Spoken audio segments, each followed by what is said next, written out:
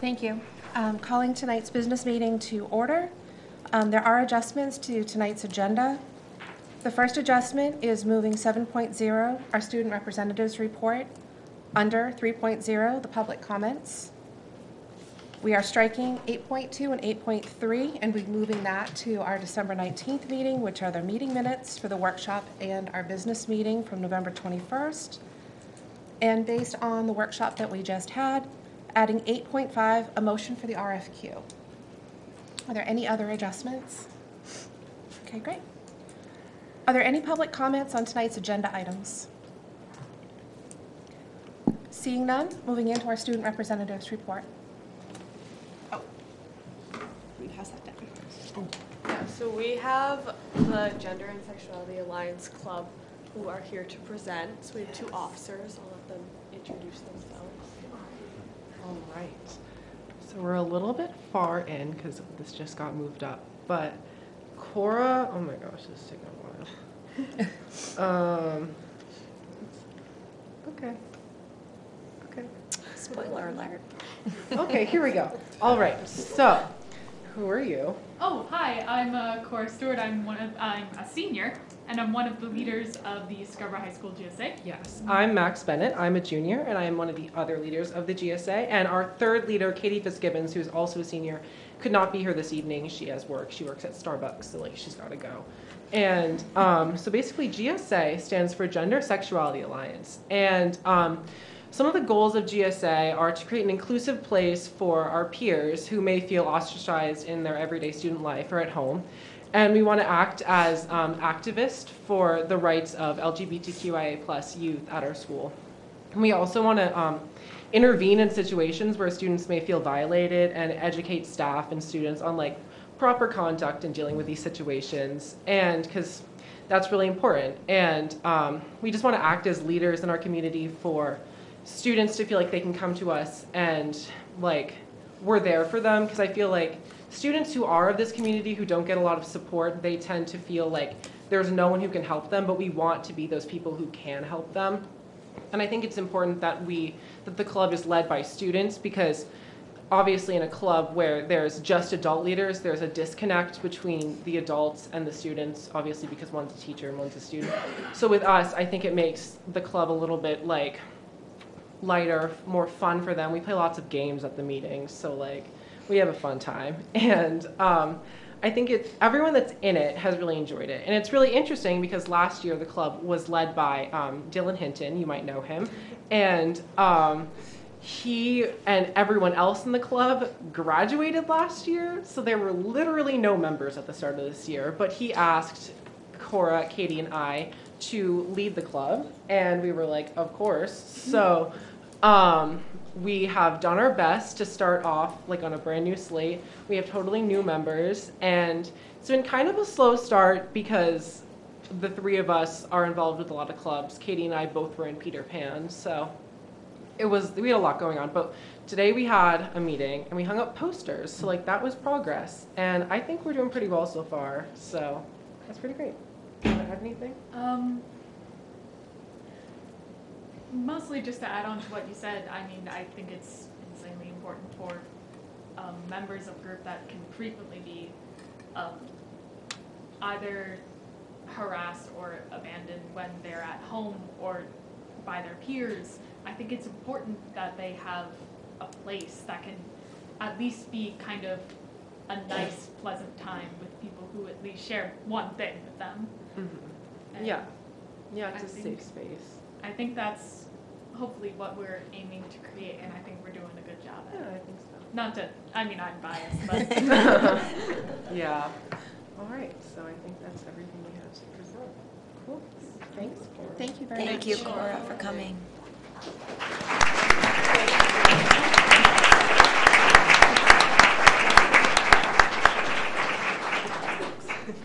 All right, so to start with my part of the report, I just want to start by congratulating Jarrett Flaker and Ashley Sabatino. They were both named the Scarborough High School Fall Athletes of the Year. Um, as you can see, Jarrett was named for football, and then Ashley was named for soccer. the visual and media arts department at the high school is currently presenting the semester one art show. So last night was the grand opening night. It was from 4 to 7, but the exhibits are up until December 20th, which is the Friday right before we go off for holiday break. So I encourage all of you to go visit. It's in the high school learning commons. And I just wanted to share some pictures from Peter Pan. I'm sure you can see Max in the corner of the middle one. right corner. his great crazy. costume. um, it was a really great show. I went to see it, and they all did amazing.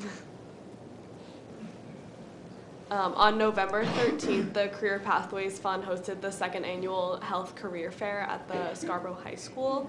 Um, employees from Maine Health and NorDx came to speak with students about jobs in the medical field, such as physician assistants, nurses, phlebotomists, and lab technicians. It was a really great experiential learning opportunity for students who are going to be the future leaders in the medical field. And students from Mr. Translito's, Mr. Roberts, Mr. Eldridge, and Mr. Jones classes were invited to a personal finance workshop. This was hosted by the Career Pathways Fund, and students met with employees from University Credit Union and Town and Country Federal Credit Union, um, and they learned about savings, credits, loans, and investing, which I'm sure is all stuff that we can all learn about. Um, local scientists visited sixth graders. Oh, I thought they're wrong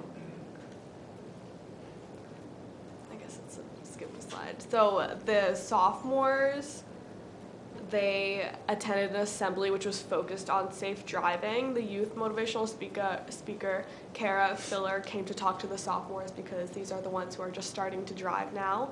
Um, and they got they talked to them about how to stay safe on the road, and they got to test out a driving simulator, which looks something like the one on the left. Um, I'm sure we could also all use practice with driving. And uh, the local scientists visited the sixth graders in honor of Maine Bioscience Day, which was on November 24th. And they got to see water samples under these special flow cams. Um, so they got to see microorganisms in the water. And then on November 25th, the middle school had a Step the Bus Day. And that's um, and this week, the middle school is having an inclusive spirit week, which is hosted by the Unified Club. Um, you can try and see what it read, what it says, but the Monday is wear white day. Tuesday was wearing hats day. Wednesday was color by grade. Thursday was wearing leis, and then tomorrow, Friday, is PJ day. And then Alrighty. So, um, these photos are from the Wentworth Literacy Night's green screen booth. Um, at the Literacy Night, um, many Wentworth students were there and they participated in a book swap. They listened to guest readers, played games, and took pictures in the green screen room. And as you can see, they had quite a lot of fun. Um, Wentworth recently held its 14th annual Stuff the Bus food drive, where classrooms collected non-perishable food items to donate to the Preble Street Food Kitchen, and it happens every year. I did it. It was it's a really great event, and I think it should go on for a long time. Um, after the after the end of the food drive, Wentworth students and staff are now doing a Coats for Kids drive, where winter clothing is collected for those in need this winter season. Um, Wentworth students shared ideas of what they are grateful for this holiday season, and the hall- hallways are decorated with these banners of gratefulness. Um, Mrs. Tukey's fifth grade class worked together to decorate the cafeteria doors for the community turkey dinner that was held last Thanksgiving Day from 11 to 1. And I heard it was a great success. So, yeah, that's everything.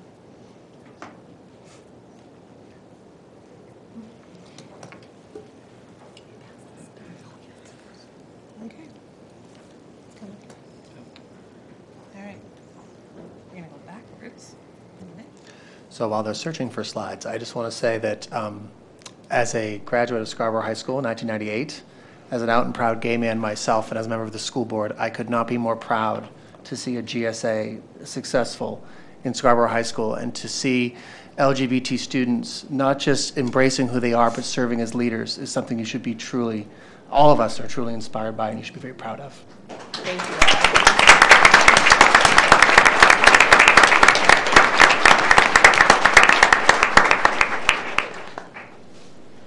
Moving into 4.0, the superintendent's report. Okay. 4.1, an enrollment update.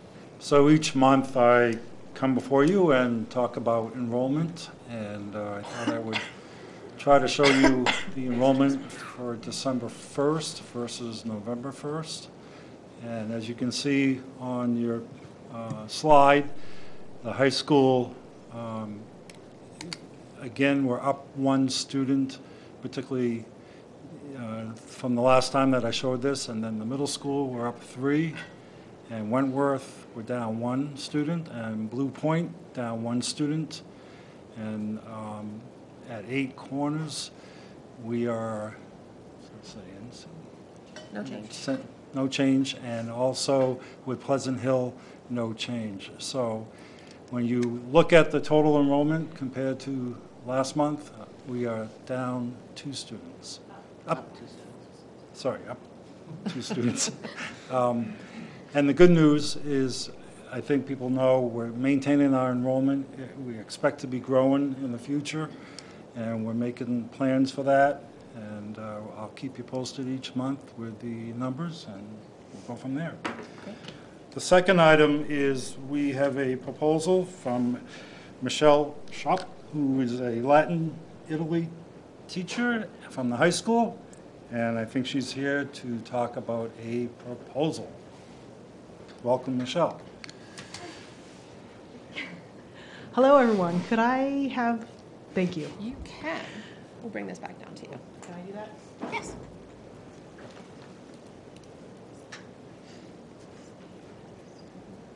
Hello. For those of you who don't know me, my name is Michelle Schupp. I'm a Latin teacher at the high school.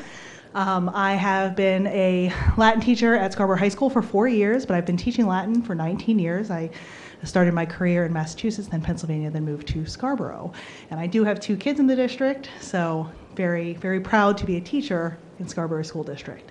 So um, I wanted to show you our trip, our Latin class trip to Italy in the summer of 2021. Um, so where we will be going, this trip is called the Soul of Southern Italy. Um, I am a very passionate Latin teacher, and I'm very excited to take the students to Italy again. The Southern Italy is just a treasure trove of cultural um, gifts to the 2,000 years of history following it. Um, this area in ancient times was known as Magna Graecia, so it was the earliest area that had um, peoples from outside of Italy uh, who came in, and those were the Greeks. So the trip will be from July 12th till July 21st. It will, we will visit uh, Rome. We will do lots of amazing things. I can give you a very detailed itinerary if you would like it. We will be going to Napoli. We'll be going to the National Archaeological Museum, which is where all the treasures of Herculaneum, Stabia, and Pompeii are stored, um, are displayed. Uh, we will be visiting Pompeii. We'll be visiting Sorrento, all of these beautiful places in the Bay of Naples area. We will also visit Alberobello, which is the home of the beautiful, trulli white homes that are among the oldest settlements in all of Europe, um, and a town called Otranto and Lecce. And Lecce is a really, um, it's kind of like an untapped treasure of ancient Roman um, architecture. It has a beautiful sunken amphitheater, and also for the students who are going on this trip, who will all be Latin students, the curricular trip, um, a lot of the events of the Punic Wars happened in this area. So they're all very excited. They're not excited about the Italian coastline or the food. They're excited to talk about the Punic Wars. So it is a curricular trip. This is tied to the Latin 1 to 4 standards and learning goals. Um, who is uh, able to go on this trip? So here we actually, so some of the slides have pictures of our students on this summer's trip. Some of you uh, were on the school board when I proposed the last trip, the trip that we just took this summer. Um, and these are some pictures of our students uh, on on this previous trip. So this is a picture up in the left of me getting to live my wildest teacher dream, which is of course teaching in the Roman Forum about the Roman Forum. So it was super exciting. It's my favorite thing to do, and it's just, oh, it's magical. Um, so, sorry, I get a little carried away. So, uh, this is another uh, picture when we were in Rome on the Via Appia, which was the major uh, north south highway of ancient Rome. Um, that was also the major gladiatorial pathway. So, we go to an ancient gladiatorial school, and the kids get to visit a museum with wonderful artifacts, but then they also get to gladiate, which is a very ex- fun experiential learning experience. Um, for those of you who are on the board, um, when you have a chance, these two links, the one that says Latin students, um, on the last trip, uh, the company that we travel with actually highlighted our student trip because our students have a history of um, representing themselves well. So they followed us around and did a professional video of our trip with student testimonials, et cetera. So if you want to be really sad that you're not in Italy or Greece, watch those videos. Um, they are lovely. The second one, the one that says level two or higher, I just put them on there. That's a video of our trip to Greece. So we went to Italy and Greece on the last trip.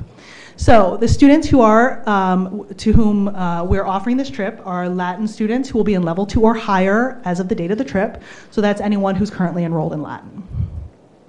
The chaperones right now are myself. Um, for those of you who don't know me, this is really a passion of mine. This is my 14th student trip internationally. I've taken over 350 students. I do speak fluent Italian, and I used to live in Italy. Um, and so this is really my passion: is taking my Latin students to Italy and showing them experientially, um, as opposed to just, you know, in books and with very exciting Google Slides. But it's not as exciting as standing in front of the Colosseum.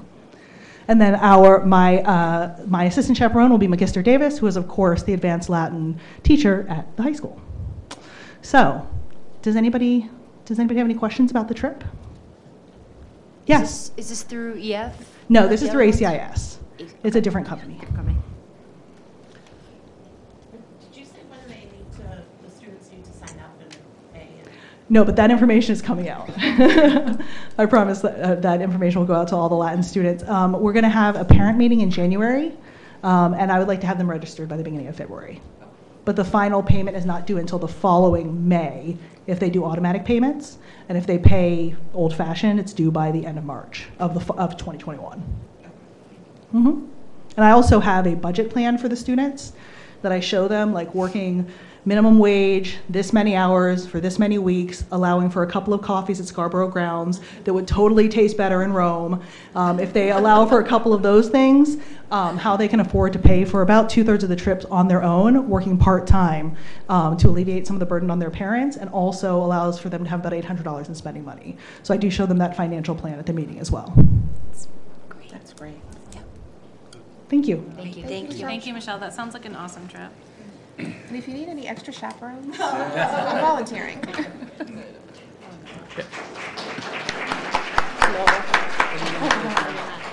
Excuse me, I don't want to be disrespectful, but can we talk for a few minutes, what we, what we're here for, then we can all leave afterwards? Would that be an opportunity to do that right now, or?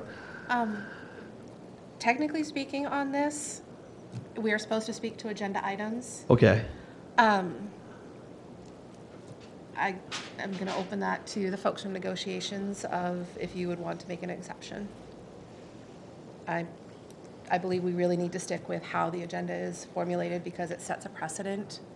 Um, I understand. We- Well, we'll be very quick also, we have very brief comments. I'm, I really don't want to set that precedent. I'm sorry. Okay, thank you very much. Go ahead, keep on going. Okay. Keep on going. Um, moving into the chair's report. Um, something that has come up on a couple of, you know, discussions that I've had with folks on the board is how do we determine what our official stance would be on legislative items? Um, as we start looking at making a formulation as new things are being, um, coming up to our legislative members, how do we present our thoughts and feelings to those items? Um, so I just want to open up the chair's report to have this conversation openly on how we would determine an official stance. I mean, certainly one thing I could do as a legislative liaison is to reach out to our elected officials to get perspective from them as to what the conversations have been at the lo- at local and state government levels. And, I mean, that's certainly something I'd bring to the conversation that could help round out whatever we wind up talking about. I know there's something that's on the docket recently that, that's coming up, but it's important to have this conversation, so thank you. Um, and it actually led to the next question of what would happen if there's a dissension with the majority decision? So if we vote on something as the legislative representative, if you didn't agree with the decision of the board, how do we make sure that um, we're adhering to our roles as board members as well as standing behind our own personal beliefs? So I think probably it would be in the best interest of boardsmanship for me to represent the opinion of the majority, even if it doesn't agree with my own. Does that answer what you were asking? It does. It does. Um, yeah, I think it would just be helpful if our state reps could keep you in the loop when these things are happening and solicit our feedback. These, you know, particularly the one that's coming up now, I don't know how they can make a decision without some feedback from our group. So I think just opening those lines of communication would be good. Well, and it would be interesting to know also what other forms of input they have. So they have their local school boards, right? But you also have officials of the Department of Education. You have people, I'm sure, in Augusta that are talking about this and, and lobbying on both sides of the issue. But to make your to make your point, I think it's important that our legislators, who the public elect, just like they elect us, uh, reach out to this body as the as the presiding body of the school district of this town. um, which actually was a great segue in, Kristen, um, to what brought this forward, which is LD 1715. And it's a motion to move child development services for three to five-year-olds to the local districts. Um, some of the questions that first came to me as I was reading through um, the article, what happens if we don't have a pre- pre-K program? How do we support those younger children with this service? Um, and what happens to existing programs specifically for our district if the state isn't funding those services? As a minimum receiver, we're not going to get any extra money, and how do we pay for the services that are being shifted? Yeah, I I'm mean, sure those are there's- the kind of things that would be nice to know from them if any funding would be outside of the school formula, because that's the only way we're gonna get funding, correct? Is if it's mm. money that's not part of the, Well, when I read the article about this, this, one of the major drivers for this was basically an overage in spending by CDS for several years. So I would imagine, and I don't know any information on this, but I'm just kind of thinking out loud, that if they're going to expect districts to pick this up, particularly districts that have no pre-K right now, and you want them to take on special uh, services pre-K, basically, I mean, I would think that some of that money has to come down to the districts, but how does that happen, and, and what is the formula for that, and, and what does that mean for districts like Scarborough that are minimum receivers that don't have pre-K? What do we do with that? I don't know. lot of It's, that first round circle bullet is the very first question that came to my mind when I saw this come out in the article, and I'm glad to see it here. This is for 2021, I think, is what the law Is that the plan? Is. is it that at. soon? I thought it was later than that. They're, Yeah, I thought it was, I actually thought it was 2021 as well, that they were taking the vote, and it would be, it's supposed to be in this session. Because it oh. was a could be carryover. 2021. so this is quick. Next year. Well, no, it'll be the year after, right, next year. No, no, you're right, 2021. Yes, ma'am. So I think, like, I mean, we have a legislative liaison, so I'm, I'm, I'm, I guess I'm assuming that this would fall to you to like kind of open those lines and, um, ask some of these questions, but, um, outside of that, my understanding is this, this is not an unfunded, I mean- CDS is not unfunded, they're not talking about unfunding CDS and, and placing that cost on the district, I mean, they're talking about moving the funding from CDS to schools. so.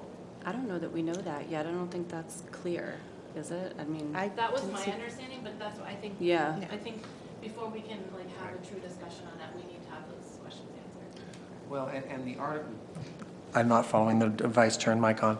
Um, the article actually pointed out that one of the drivers for this was to defer some of the costs to one of the more, some of the more um, affluent communities in our town. I think, I don't know if that was the word they used, but that's what they were hinting at. So um, I have made a note and will definitely reach out. Leanne and I had this conversation earlier this week, and, and I'm glad to have it here because I wasn't exactly sure what my role was in this. So um, happy to reach out to our two state uh, officials and see what they know about this because the sooner we can find out, obviously, and we're not alone, every district in the state, the sooner we find out, the better off we'll be. Agreed. Okay. All right. Thank you. Moving into committee reports. Communications. Communications is pretty short. Um, We were supposed to meet on Tuesday, but because of the snow day, we are rescheduled. It's my last bullet, so our next meeting will be tomorrow um, in central office at 12:45. Um, The next Spotlight Award winner will be announced and celebrated at our next meeting on December 19th. Um, Going back um, to a couple of weeks ago, the fall issue of the district newsletter was sent to families and posted on our website on November 13th. Um, And so everyone who is subscribed to our district um, outreach page gets that, as well as um, everybody who gets the emails from the schools. Um, And we have a pretty full agenda for tomorrow's meeting. Um, Kristen is new to the committee, and so we will definitely spend some time talking about kind of procedurally how we do things. Um, And I wanted to talk a little bit um, as a full board about requests made to the Communications Committee. And this has come up before, um, you know, when we're not sure whether members of a certain, you know, committee should be um, communicating information or whether that's solely the charge of the Communications Committee.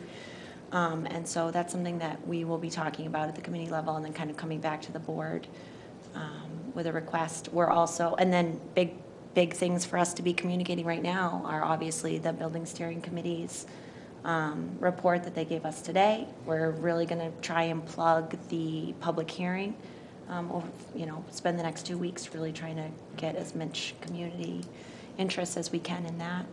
Um, And so that is what communications is up to. Oh, no, no, I'll do that later. Okay. Long-range planning?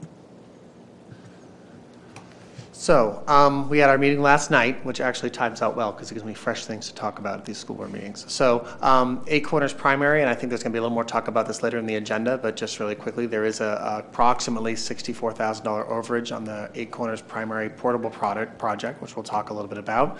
Um, Some of that is attributed to regulatory changes. Other things are just some of the unexpected costs that come up when you renovate everything, from a garden shed to a school, uh, and add things. Um, Future portable use, we had a, we have a conversation about this last night, because as we talk about um, a potential renovation, we talk about a potential consolidated school, one of the things that long-range planning would be remiss if we didn't have the discussion about is what happens if we wind up not being able to do either of these things, and what are our options, because these kids need a place to learn. Um, And what we talked about, and actually the, the committee did a more comprehensive job than I'm going to do about it here, so I won't rehash everything they said, but basically, even if we could add all the portables we need, we can't, because there's no place to put them.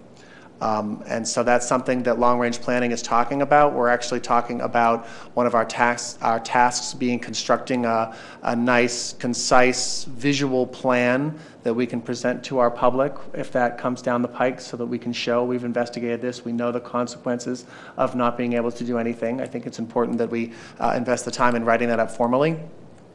And the last thing we talked about, which is exciting for me because I'm a planner by trade, is um, actually formalizing and making a digestible facilities upkeep plan. And that name is a work in progress. We haven't decided on the exact name of it yet, um, but it'll be something along those lines. They'll follow the construction of a traditional strategic plan where you have a mission, which is a purpose for existence, a vision, which describes where you want to eventually be, the core values and morals that guide the different prioritizations you have, uh, the goals you want to accomplish, and then specifically the objectives as to how you're going to do that. And the good news is, is the objectives primarily already exist. Kate and Todd have done a great job of laying out how to spend money over the next several years so we can make sure that we're replacing things before they break, that our schools are staying safe and operational places that are optimal for learning, so we're not running around when all of a sudden something goes bad. We've got a plan. Um, But what I think we really want to do in long-range planning is, is formalize that a little more, bit more and, and dress it up for all the hard work that it is so that our community can see that our school district is working hard to make sure that their resources are used effectively and that we have efficient buildings that we can count on. Any discussion? Check. Negotiations? So that one's to me now, I guess. Oh, sorry. Um, so as we've said before, every time we have a negotiations update, it's a closed process and, um, legally, we're not allowed to share what, uh, anything that goes on behind closed doors publicly. Um, Amy is continuing to lead the, um, process with the SEA and our teachers. Um, it's ongoing, so we voted to keep her as the, um, lead negotiator for that. And um, our first fact-finding session, um, which is a closed section, session, but the date is scheduled on December 9th, um, which is Monday. Thank you. Hillary, just from a purely um, point of understanding, can you, s- can you tell me what fact find, like what that means? Like what is fact finding? Oh, um, well, I've never done it before, but um, it's part of the process um, in negotiations. Um, I know. Do you want, do you want me to jump in? No, I was, I mean, you can jump in, I'll just say, so typically, um, you negotiate and you try to, um, negotiate, uh, in good faith as best you can, and if you have good faith disagreements that you can't, um, that you can't, um, move beyond, you, um, you try a mediation process, um, and we did that, that's with one mediator who kind of goes back and forth and learns all of the different issues on the different sides and tries to, um, um, um, you know, mediate and come to a, come to a, um, agreement for the two sides. Um, and then, and if that isn't, if there's no agreement available through mediation, um, the next step is fact-finding, and, um, it's a little bit different than mediation because it's three, uh, it's a panel of three people. There's a, a neutral party, and then there's, um, an employee, uh, advocate and an employer advocate, and, um, basically, um, the two parties, um, they present what they are not able to agree upon, and then those three, that panel of three people, um, get together, they can take, I think it's within thirty days, but don't quote me on that. Um, I think it's within thirty days, they go through that, um, they, and they come up with some recommendations. Um, then it goes back to the parties, and they can either agree or agree to accept the recommendations or, um, not accept the recommendations. Did I get that right? Yes, you did. That- That's in written format, right, the fact finding? Yes. Yes. And, and at that point, that information is public, right? Only Uh, if both parties don't accept it. Right, if it's not accepted, um, after two weeks, then the, um, the- all the information becomes public. So that, That's it. so if this is both don't closed. agree? It- If there's no, If if there's no agreement reached, Okay. which, It- it- But one it's- it- side could be okay, right? I just want to clarify that after the fact-finding um, session, the panel takes time to come up with a decision, um, releases a written report to the, com- to the parties, and then uh, we have two weeks to go back and make any adjustments or go back to negotiation. If that doesn't work, then it can become public. that's what I was trying to say. Thank you, Chris. Finance. Um, So I'll give an Eight Corners update later, but just real quick on the joint resolution. So at our last meeting, um, I gave you guys an update that we had come to a joint resolution on sort of our recommendations on how to move forward with budget goals uh, for this coming budget development cycle. Um, The whole point of that was that that was something that we would agree to, that was something that the town council finance committee had agreed to, and that we would sort of present those as our joint recommendations to our respective boards. Um, To my knowledge, they have not done that, it was not on the agenda last night. It is unclear to me as to why that was not on the agenda, um, but at this point, it, uh, my understanding is that it's being sent back to the new finance committee, so kind of defeats the purpose of it, because it was a recommendation coming from the former finance committees who've done all that work to the new finance committees, and in our case, our committees aren't changing, in their case, it is. Um, so I don't, I'm, I'm hopeful that we don't have to start from square one, um, but we are where we are. Thank you. Liaison updates? Um, Community Center Committee, So two quick updates. Um, last night, the town council approved one to give the committee an extension. So on Monday night, uh, the developers are gonna be presenting to the committee their proposal, their design proposal. Um, and then the committee is taking some time to get that, take, basically take that information and then they'll spec out what it would cost to do like a self-build. And so their recommendation will go to town council in late January. I don't know the exact date, but we'll get it for you guys, but it's been pushed from December to January. Um, and the other thing that they approved last night was, um, the committee requested funds to be used for a market survey. and I think it was eighteen thousand dollars that was approved that they're gonna go ahead and execute, um, on. And that, the data from that survey, I believe, will not be returned by the time that they have the, the presentation to town council, but it's the hope that town council would get that information and be able to use it to make a decision moving forward. Thank you. Town council? So in addition to community center stuff that is relevant to us, um, the town council also made their committee assignments last night. Um, Notably for us, um, the finance chair for the town council is going to be Counselor Hayes, and the um, communications chair will be Counselor Ken Johnson.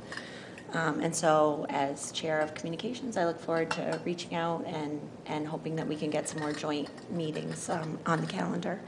And then uh, they also named their liaison to the BOE, and that will be Counselor Gleysteen. And then vocational? And then for the vocational update, um, I, I'm always so impressed, and you guys know, like, this is my, I love this liaison role. Um, and so this most recent meeting was held in the cafeteria, uh, the new cafe, and the students made us an amazing meal, um, and they lay out everything so beautifully, and it's like white glove service, the- what these kids do for us just for this meeting. Um, and so I wanted to give you um, an enrollment update. Um, we currently send 32 students to Westbrook, and we send 19 students to Paths. Um, the state right now is really kind of trying to put a lot of focus and energy on increasing enrollment in these programs um, and getting student ready, students ready for careers um, after high school. And so I personally, as an advocate and liaison to this um, committee, like I would love to see um, more of a push for Scarborough students. Um, and so I've actually, on our kind of working document for workshops, I've actually requested that um, someone from the guidance department at the high school come um, and maybe give us a workshop and further explain like all of the services and the opportunities that these um, CTE centers provide our students.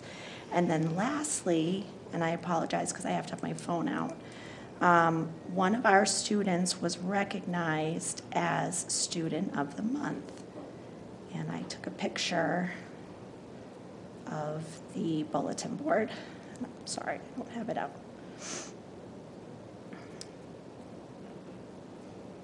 Okay, you'll have to come back to me. Except I'm last. Okay. Um, we've done this. Moving into new business, the appointments. Eight point one point one, the high school winter coaches. Um, we all received the documents, um, with our packets, and the motion is to approve the high school winter coaches as presented. So moved. Second. Any discussion? All those in favor? Unanimous, fantastic. Eight point one point two, the middle school unified club advisors. Um, the motion is to accept the club advisors as presented. So moved. Second. Any discussion? And all those in favor? Again, unanimous. Eight point one point three, middle school unified basketball coach. Um, the motion is to accept Scott Weymouth as presented as the middle school unified basketball coach. So moved. Second. Again, any discussion? And all those in favor? Excellent. All right, eight point four, Eight Corners Project Financial Update, and I'll get to the slides. Can I jump in while you're looking? Of course you can. Okay, so our student of the month, um, his name is Matt Hale, and he's in the Landscape and Gardens program. It says Matt is a very talented person who is able to do anything we need and helps everyone. He is a second year student and has been a huge asset to our program for two years. His visual spatial reasoning skills are outstanding, and he creates masterful art in the form of stone sculptures, flower arrangements, and gardens. He is our go-to person for technological assistance. He is a one, and he is one of the kindest people I know. And there was a lovely picture of him um, on their bulletin board, so I wanted to share that with you guys. uh, that was it, um, paths. Cool. Um, oh no, so small. Okay. So, um, as you guys all know, the Eight Corners project is complete. Um, just as a, a little reminder, earlier this year, um, when we put together the, the budget for the project, um, we decided as a, as a board that it was appropriate to go to town council to ask for the, the, uh, this to be covered out of the school impact fees, which is a fund, um, that it basically addresses growth in town. So any structural building, um, or any, I have the language specifically in here, um, that we can look at um, financing and facility improvements with which the town council has determined are made necessary by new development, which, so we felt that the growth at Eight Corners due to enrollment, um, fell under, uh, this appropriately. And town council agreed, um, and voted for us to approve two hundred and sixty thousand dollars to be used for the Eight Corner project. Um, that two hundred sixty thousand dollars in the budget for that was for the, uh, single portable unit, that was two classrooms. Um, site prep for two units, so if you remember, we have, uh, one of those units in the budget for this year, so that we could proactively order it for next year if we needed it, um, which it sounds like we will. Um, and then a connector from the portable to the classroom. Um, so, pretty low, I mean, a pretty small font, but the, the summary is that we're over by almost sixty-four thousand dollars. Um, the bulk of that overage came from, um, and Kate, feel free to chime in if I'm off here by anything, um, by unplanned sewer impact fees. So a- as Todd would explain it, the, uh, I think the secretary of the sanitary district uh, went to, he got approval by the planning board pending approval by the, a visit by the sanitary district secretary.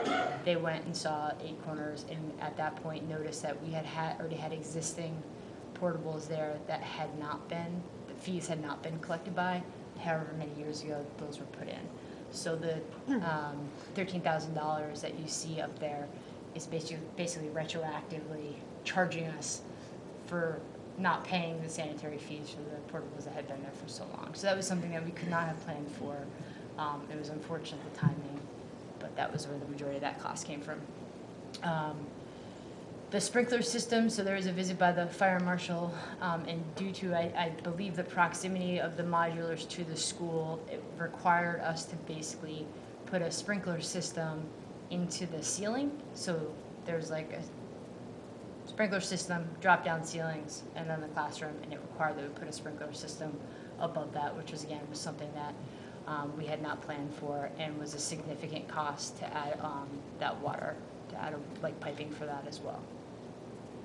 And the two other additional items, so the connector was just under budget for, um, and as a complete oversight, uh, the building itself is, is ADA, um, acceptable, but the handicap ramp was not, uh, considered in the original cost projections. So that's where the bulk of the overage comes from, um, bring our balance to about sixty-four thousand dollars. I'll pause there if you guys have any questions. And we've reviewed this ad nauseum, so if you guys don't have a question, for the public, anybody's watching, if they don't have questions, that's why. So ultimately, it's the recommendation of the finance committee, um, and I believe the long-range planning committee that we go to town council and ask for this to be funded out of impact fees. Um, Kate has done a lot of work, um, to basically assess whether or not, if they say no, can we actually fund this on our own? The answer to that is yes, but it is not without impact. So we'll, we will have to take the funds out of existing CIP, um, projects, which basically just puts us at risk if the, if things fail. And will, will prevent us from doing some sort of preventative maintenance, um, that's already planned.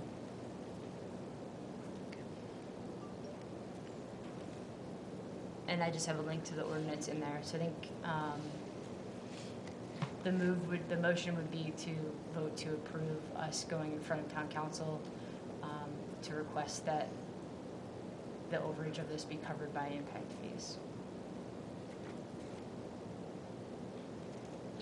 Does the town council know that this request is coming? As liaison, I have talked to several town councilors about this, so they, not everyone, but at the very least, the chair and vice chair are aware.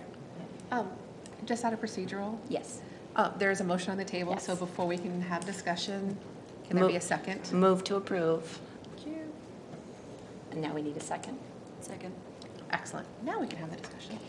Yeah, I think, Alicia, just to add to that, um, I think we've intentionally been very transparent about this from the beginning. The original projections were estimates, and we knew that, and so at multiple occasions, we've been giving updates, not only the board, the finance committee, but also at our joint meetings. joint meetings. Um, so we did already present the overage to the, the town council finance committee. They were the ones that actually asked us to go ahead and say, well, if we say no, how would you cover this? Which is why we did that work. So the next step, assuming that we approve it, would be to go in front of them and, and make that uh, presentation as well.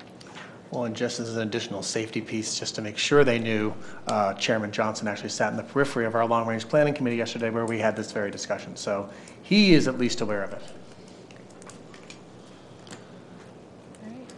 Uh, The only other comment is really just for the folks at home. The impact fees, even though they are earmarked for the schools and it is technically school money, town council does kind of hold the purse string. So we do need to ask them um, for use of that money, which is why the motion is going into, in front of town council, asking to get to the money that is earmarked for the school.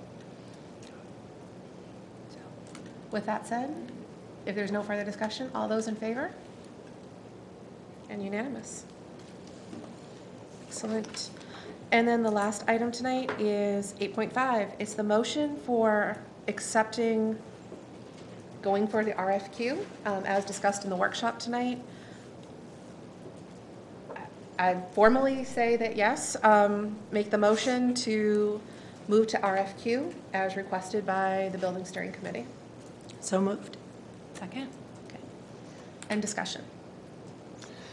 One of the things that I like that they pointed out when they were just, uh, when they were, um, they were talking tonight is they talked about the importance of looking at your design firms based on their credentials and not necessarily the price. And I think that that's sometimes a misunderstanding when people think about state projects. That some people's eyes get big and they go, "Oh God, we're going to do this as cheap as possible." And what I loved is that they presented tonight that this RFQ process is really about finding a firm or firms that are the best qualified to carry this out for our town. And so I was really glad they emphasized that for us. Excellent. I just wanted to say thanks to Hillary and Alicia. I think the mm. presentation that was given tonight was pretty spot on. Um, and so appreciate your guys' guidance in helping them develop that in your time. Definitely. The Yes, committee thank is you. just amazing. I mean, there, there are so many experts in their field and we're so lucky. Yeah, to I mean, have they them didn't go into volunteer. their credentials, but they're all like landscape, and they kept saying in my, you know, they're all landscape architects, structural architects. I mean, they do this all the time, so I feel really comfortable with their knowledge of the process. Um, And they've helped me a lot to understand some of the stuff that I wouldn't normally understand. like No, you the- guys the did a whole great RFQ job. process, I feel like I can Uh, And to that level, um, thank you for getting me through that, because hearing the term RFQ, from a business perspective, I'm assuming that's a quote. That means we've made a decision. Um, And if you did not tune in to hear about the workshop, um, it is the queue for qualifications, whether or not these firms can do business with a school. Um, So it is a state mandated process um, that we'll be following for this. And I'll just say again, just again, in case anybody wasn't um, um, able to tune into the workshop, that um, this RFQ is, uh, re- is a request for qualifications, um, and it's able to be written generally enough so that we can um, safely put it, publicize it without um, making, having made a final decision on what type of project we're gonna go forward with. Um, if you want more information about it, rewind and go back to the workshop because the, the, um, the experts that we have on our committee did a really nice job explaining that. You did. All right, all that said, all those in favor? Unanimous. Um, Before we adjourn, just a reminder that the workshop on Thursday, the 19th, is going to be a public forum to share your thoughts on whether we should have a consolidated school or we should be looking at renovating our three um, primary schools. So please do come, that will be from 6 to 7. And for that, motion to adjourn. So moved. Second. All those in favor? Thank you very much. Thank you, guys. Weird.